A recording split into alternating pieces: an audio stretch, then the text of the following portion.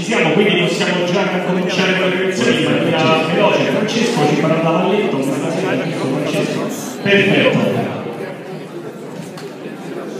Certo, partiamo dallo studente Campano Cronometro, dalla categoria M8 maschile, chiamiamo dell'Angelo Giuseppe, Cinotti Raffaele e del Gennaro Pino Dolfo. Invitiamo tutti a fare un applauso giustamente.